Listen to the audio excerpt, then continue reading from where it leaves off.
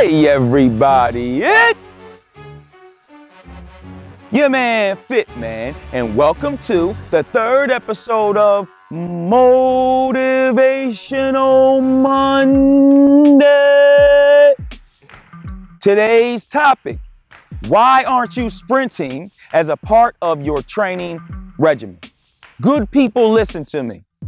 The most popular goal for most trainees in the fitness game is to drop body fat, to burn that nasty, unwanted body fat. The problem is, is that most of the methodologies that trainees use are ineffective or inefficient at best.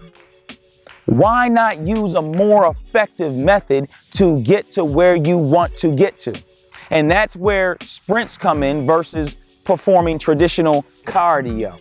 Let's talk about the benefits of running sprints. Number one, time. Most folks lead busy lives. You've got kids, you've got a job, you've got time demands. Why do you really want to spend two, three hours on an elliptical going nowhere fast when you can come hit the track, get warmed up, and perform a sprint workout in 20 minutes or less?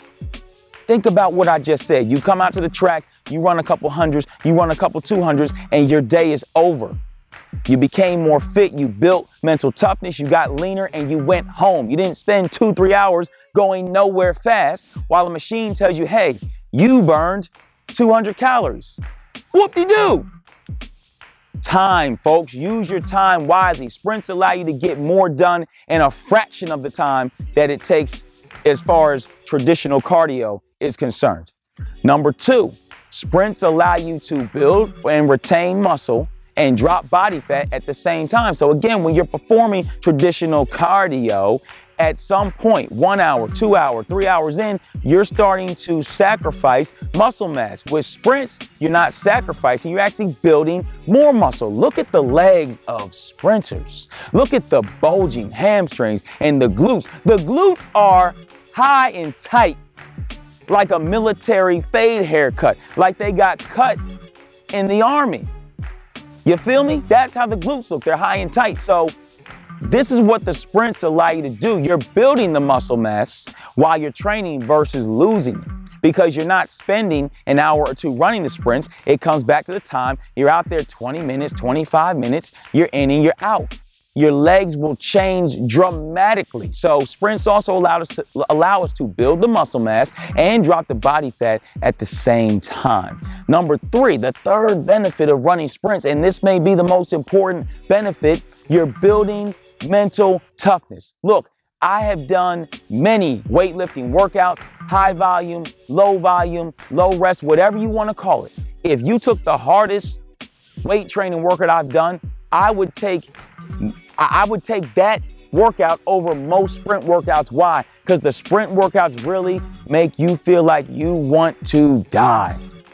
When you're running repeat 300s, you don't want to be there. When you're running 3 2 1 1, you don't want to be there. Your heart is thumping, your hamstrings and glutes are, are pumped out of control, pumped more than, you know, any training exercise can do. This is what sprints make you feel like. But if you're able to to do sprints consistently and keep coming back, you are going to build, you know, unbreakable will. You are going to feel like you can do anything because sprints require that kind of will.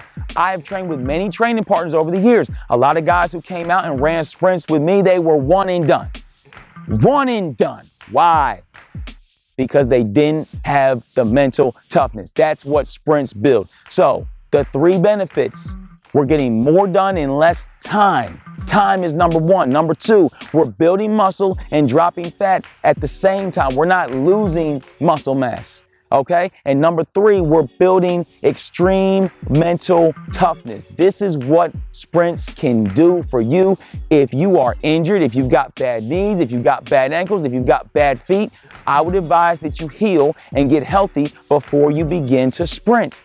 You can't just come out and be Usain Bolt. I've got a great guide on my website, the, the, the Lifter's Guide to Sprinting, that will show you how to get warm for sprints so that you don't hurt yourself.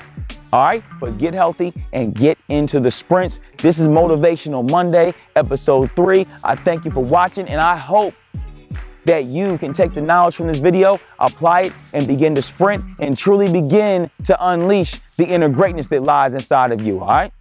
It's your man Fitman. Holla at a trainer when you see me in the gym.